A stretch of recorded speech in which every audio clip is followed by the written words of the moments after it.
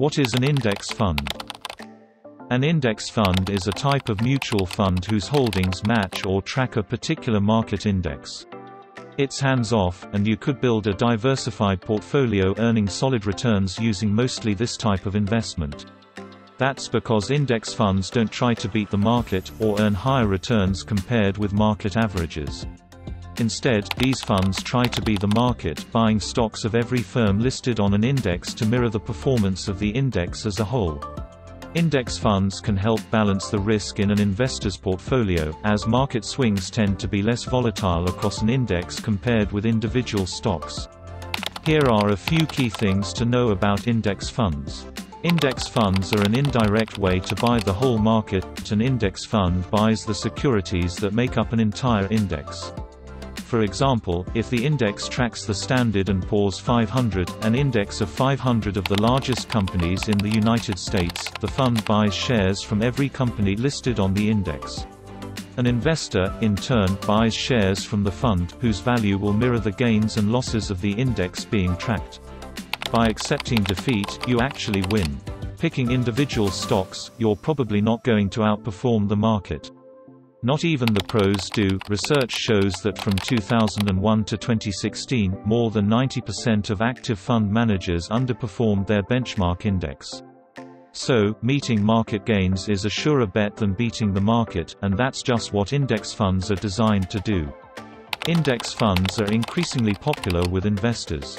According to Morningstar, actively managed mutual funds and exchange-traded funds in the U.S. saw outflows of nearly $514 billion, while passively managed funds saw nearly $1.6 trillion in new money from April 2014 to April 2017.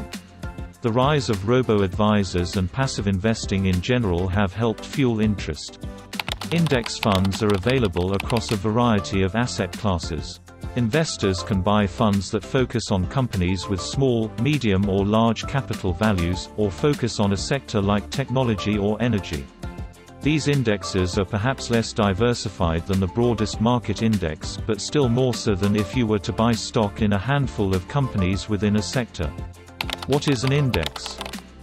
For investors, an index is a measure of the performance of the price of stocks, bonds or other tradable assets in the wider securities market.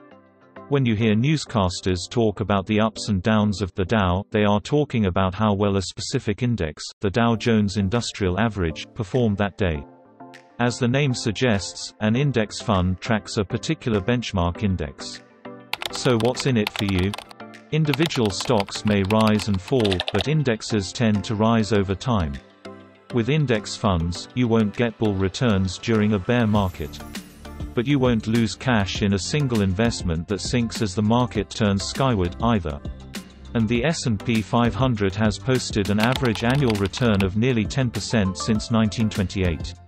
Index funds have fewer fees that erode your returns.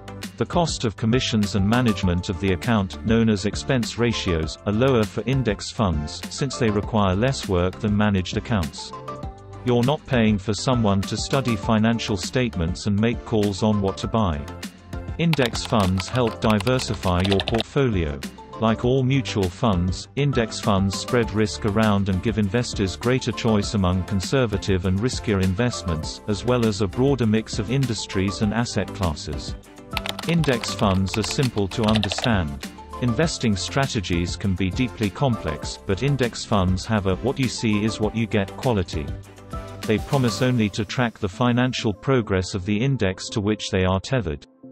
Would you like a free stock? Get a free stock by opening a free account with Robinhood. Link in the description. I hope you learned something today. If you did, please smash the like button. It helps us reach more people. And subscribe to our channel to learn more about investing. This was Daniel, and you've been awesome.